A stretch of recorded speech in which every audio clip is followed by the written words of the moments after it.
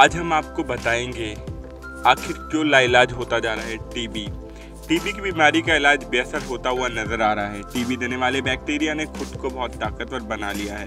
जल्द ही उसे मारने में मौजूदा सभी दवाइयाँ बेअसर साबित हो सकती हैं। भारतीय वैज्ञानिकों के मुताबिक बैक्टीरिया ने अपने जीन में इस तरह से उत्परिवर्तन किया है कि बेडाक्लाइन जैसी नई दवाइयाँ भी नाकाम हो रही हैं। इससे भी ज़्यादा दुखद की बात यह है कि प्रतिरोधक एमडीआर की पहचान के लिए भारत में जो किट और तकनीक उपलब्ध है, वह बैक्टीरिया की पहचान करने में पूरी तरह से सक्षम नहीं है।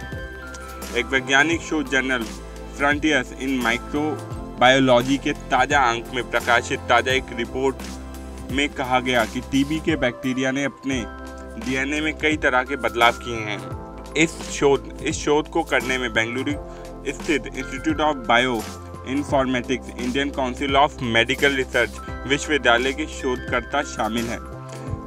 जालमा कुछ संस्थान के डॉक्टर डी एस चौहान कहते हैं शोध के दौरान एमटीबी का परीक्षण किया गया तो पता चला कि बैक्टीरिया के जीन में 12,000 से ज़्यादा परिवर्तन आ चुके हैं।